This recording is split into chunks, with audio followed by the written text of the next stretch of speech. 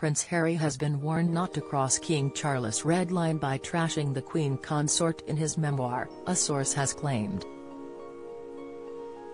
The Duke of Sussex tell-all book spears out next week as the royal family brace for fresh revelations. But a source said the king's youngest son knows that any attacks against Camilla crosses a red line. The insider told The Sun, Camilla is Charles' red line. If Harry trashes her then Charles could pull the plug, and Harry knows that. Harry had a difficult relationship with Camilla, who had an affair with his father when he was still married to Diana. But attacking Camilla would not go down well among palace staff or his father, and Harry is aware. Charles will reportedly get off lightly in the hotly anticipated book, which is published by Penguin Random House on January 10, despite his fractured relationship with Harry. But the memoir, which references the phrase the heir and the spare with its title, is said to be tough on Prince William, with the Princess of Wales also coming under fire.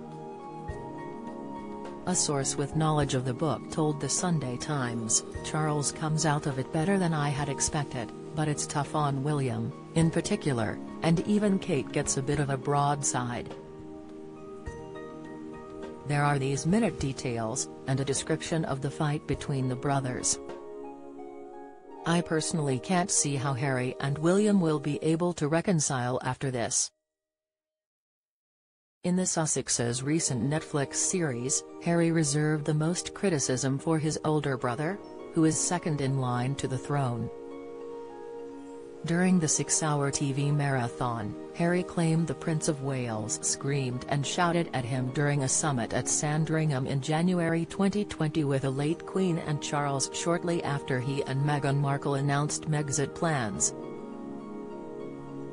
He said, It was terrifying to have my brother scream and shout at me and my father say things that just simply weren't true. And my grandmother, you know quietly sit there and take it all in. But you have to understand that, from the family's perspective, especially from hers, there are ways of doing things and her ultimate, sort of, mission, goal slash responsibility is the institution. The Duke also claimed William's office Kensington Palace traded negative stories like his father's had in the past. Harry said it was heartbreaking to see something he and William promised they would never ever do after witnessing the fallout of such actions in Charles' office. He added, William and I both saw what happened in our dad's office and we made an agreement that we would never let that happen to our office. I would far rather get destroyed in the press than play along with this game or this business of trading and to see my brother's office copy the very same thing that we promised the two of us would never ever do, that was heartbreaking. Harry's memoir, ghostwritten by Junior Moehringer, has been billed as a book of raw, unflicking honesty.